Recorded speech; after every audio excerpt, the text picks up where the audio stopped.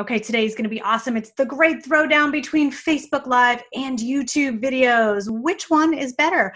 Which one should you be focusing on for your business? Well, I am glad you're here because that is coming up next.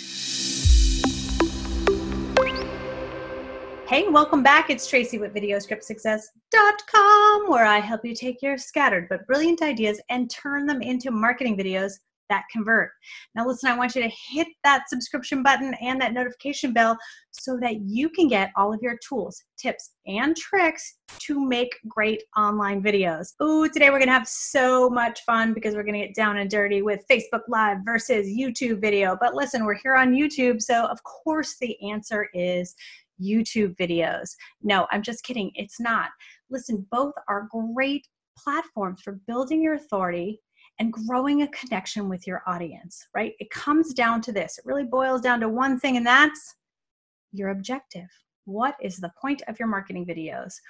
Where are your folks hanging out, right? So let's talk about Facebook Live first.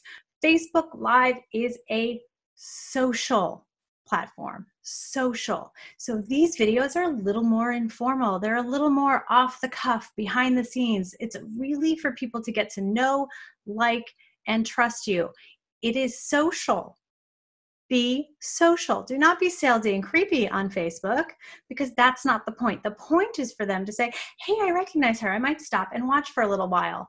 But do be warned with Facebook Lives, if you want people to actually see, and I don't mean your mom and your sister, if you want them to see your videos, you're going to pay for it. In order to get eyeballs on your videos in Facebook, you need to create ads out of your videos, get some video views, on and on and on, right? Social, you're just getting to know people, which brings me to the YouTube, which is owned by the Google, right?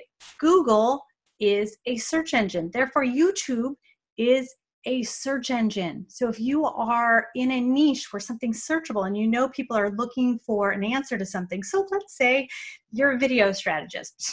Out of nowhere, I just pulled that, and you do a fantastic video on what to wear on camera last week. You should totally go look at it. It's really good, right? You're searching for that information on what to wear on camera. You can't do that in Facebook right? But you can search for answers on YouTube.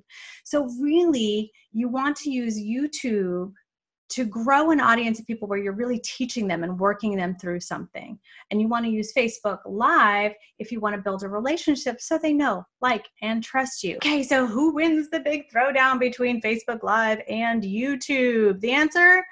It's both. It's a tie. It's Switzerland.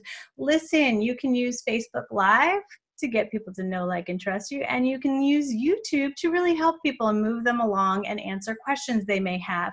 The structure of the videos are different, and I will be following up with a video next week on the specific structure of a Facebook Live video and then a YouTube video. So you want to make sure you hit that subscription button and that notification bell so you get it first. So I will see you next week here on YouTube.